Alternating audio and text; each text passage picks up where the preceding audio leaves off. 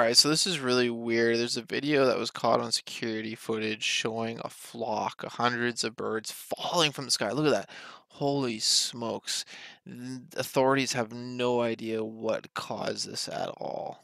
So as you can see, it just boom, tons of birds, and unfortunately, hundreds of birds, as you can see on the ground, were killed by this. Uh, they have no idea what caused this at all. If you have any thoughts or ideas, please comment down below with what you think caused this to happen. This is just absolutely crazy.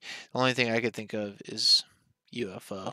So yeah, let me know your thoughts and opinions about this in the comments below. Please like this video, share with your friends and family so they're aware and they can check it out. And last but not least, click that subscribe button for more. Thanks for watching everyone. Stay safe. God bless you all. Take care and peace out.